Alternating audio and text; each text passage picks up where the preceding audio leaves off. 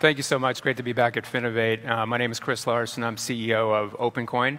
OpenCoin is the company that's building uh, the Ripple uh, network. Uh, again, before uh, uh, OpenCoin, I was CEO of Prosper, a peer-to-peer lending company, and then before that, CEO of E-LOAN, which was an online lender. So a lot of you may have heard about uh, Bitcoin. It's been in the news quite a bit uh, lately. Uh, Ripple is really a second generation of the Bitcoin concept. And uh, as many of you know, Bitcoin and Ripple are really two things. Uh, they are a new global currency, um, what we call a math-based currency. Um, but maybe even as uh, more importantly, they are global free payments networks. And what we've tried to focus in uh, with Ripple is that second part.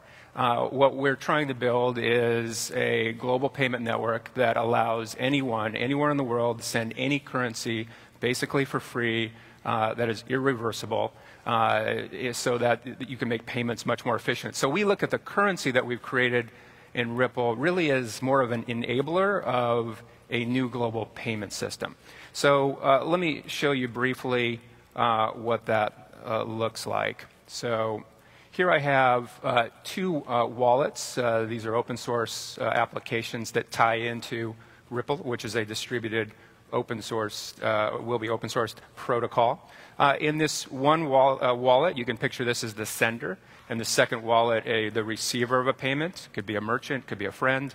You'll notice in this first wallet that I've got a number of different currencies. Again, Ripple is multi-currency.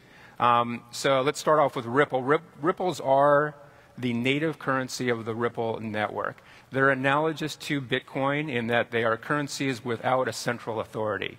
Uh, so the amount of those currency can never be changed by any human. It's simply based on a math equation. There can never be any more of them. They therefore can never be uh, debased. Um, and they can be sent to anybody on the Ripple network uh, without counterparty risk. So if I want to go ahead and send Ripples um, to my friend, uh, the other uh, wallet. I'll go ahead and send 10 ripples and go ahead and confirm that transaction. Now the uh, distributed system is going through a process of consensus. It just reached consensus, so that payment now has been made. That payment is permanent. It cannot be reversed. So merchants uh, will like that. And again, there's no central authority behind that. Um, let's say I want to, uh, well, let me show you in my wallet, I've got some other currencies. I want to send another one. Um, notice that I've also got Bitcoin in my Ripple wallet. Um, again, Ripple is multi-currency, and it's interoperable to Bitcoin. So you can use your uh, Ripple wallet, you can use the Ripple network to also send Bitcoins. Uh, let me show you how that works real briefly. So again, I'll send my friend, this time a payment in Bitcoin. I'll choose a small amount because Bitcoins are expensive and it's going to calculate uh, paths. And as you can see, I've got a number of currencies I can send. I'm going to go ahead and send Bitcoin. My friend will receive Bitcoin. Confirm that transaction. System's going through a process of consensus. Uh, once again, reached consensus. So what I just did basically is I sent Bitcoin off the Bitcoin blockchain. So instead of waiting 10 minutes uh, that you, you, must in the Bitcoin paradigm, uh, I sent Bitcoins uh, instantly. Um, one of my friends said, well, look, I don't like any of these new math-based currencies, Ripple or Bitcoin. Uh, I operate in dollars, just send me a dollar. Well, I can do that because I have a number of currencies, including dollars, in my wallet. I'll go ahead and send my friend one dollar.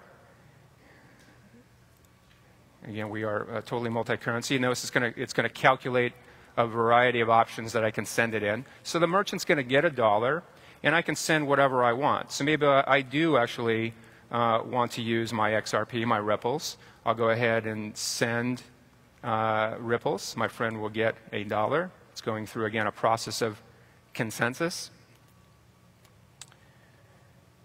And it did clear. So my friend received the dollar I sent Ripples. Everybody uh, is happy in this situation. How did that happen? Well, it's because Ripple has a built-in maybe the world, world's first distributed currency exchange. So anybody in the world can put a bid ask on any currency pair from any issuer uh, as they please. And I'll show you a little bit more on how that uh, looks. As you uh, may have seen uh, when I was calculating other currencies, it was trying to find a pathway. Um, Ripple, uh, Ripples are the native currency. They don't need pathways. But any other currency, including Bitcoin, needs gateways and pathways. And I know this is a complicated concept, but essentially that uh, looks like uh, what you're seeing right here, which is a, is a gateway. Let me bring this up one more time. Okay, so that's a gateway with pathways. And like any financial network, uh, you can send a payment to anybody uh, who has a trust relationship with that uh, particular financial network. And this can be expanded, so I can, I can expand that uh, to see what the other trust paths of other networks are. You can kind of picture these as two separate payment networks. And of course, then when I'm making a payment, let's go ahead and put half a dollar in here. I'll make a payment in this network in dollars. I'll go ahead and pay that in Swiss francs. And you should see that uh, payment move between these networks. And there it goes. So that makes sense. Just like any payment uh, network, uh, if you have a trust path, you can make a payment. But what if there was no trust path between these two payment networks? In this example, uh, there is no direct uh, connection. Um, that's not a problem uh, in, in Ripple. And this is maybe the biggest advantage of the Ripple system, is that it federates the payment systems of the world. So I can go ahead and execute a payment between these networks in a currency that does not have a direct uh, trust path. And go ahead and do that. We should see that clear. And there it goes. So we think that's maybe the biggest opportunity with Ripple. It federates the world's payment systems, and that's what we're particularly excited about. So uh, we are actively looking for partners. We're looking for gateway partners. We're also looking for software developers that can develop other applications on the Ripple network. It's an open protocol. We don't charge fees to use our system. You don't have to license anything with us. Look at Ripple like HTTP for money. Thank you very much.